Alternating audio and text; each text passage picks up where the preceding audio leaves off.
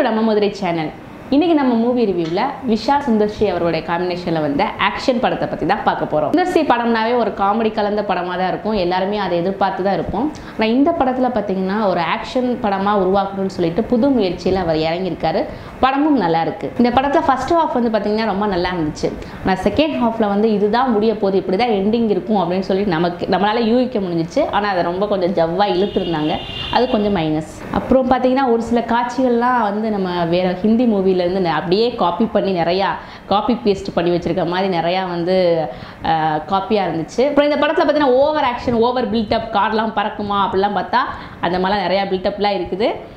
படம் வந்து பார்க்கும்போது ஆ சரி ஓகே ஒரு ஆக்ஷனுக்கு இந்த படம் ஏற்றுக்கிற மாதிரி வச்சுக்கலாம் அப்படின்ற மாதிரி இருக்குது ஏற்றுக்கலாம் அப்படின்ற மாதிரி படம் இருக்குது இந்த படத்தில் வந்து தமனா வந்து ஒரு பெரிய அவங்களுக்கு ஒரு பெரிய ரோல் கொடுத்து தமனா நிறையா ஆக்ஷன் பண்ணுவாங்க அப்படின்னு எதிர்பார்த்தா அப்படிலாம் கிடையாது. தமனா வந்து ஒரு சப்போர்ட்டிங் ரோலாக பண்ணியிருக்காங்க இந்த படத்தில். அதே மாதிரி இந்த படத்தில் இருக்க பாட்டு ஹிப்ஹாப் தமிழ் அவர்களுடைய இதில் பாட்டு வந்து ரொம்பவும் நல்லா இருக்குன்னு சொல்ல முடியாது. பாட்டு நல்லா இருக்கு. கேட்கலாம். அந்த நம்ம படத்தோட அந்த பாட்டு வந்து ஒன்றி போகாத மாதிரி தெரிஞ்சிச்சு. ஸோ பாட்டு வந்து ஓரளவுக்கு பரவாயில்ல. கடைசியாக அந்த படத்தை பற்றி சொல்லணும்னா ஆக்ஷன் படம் நல்லா இருக்கு.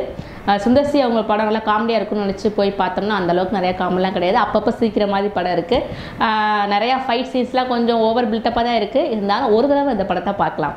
ஸோ ஆக்ஷன் படத்தை ஒரு தடவை பார்க்கலாம். இது மாதிரி வேற ஒரு ரிவ்யூவில் சந்திக்கிறேன். ஆக்டர் தன் பாய் ஃப்ரம் தேவி நம்ம மதுரை சேனலை சப்ஸ்கிரைப் பண்ணுங்கள் ஷேர் பண்ணுங்கள் லைக் பண்ணுங்கள் மறக்காமல் பெல் ஐக்கானை கிளிக் பண்ணுங்கள்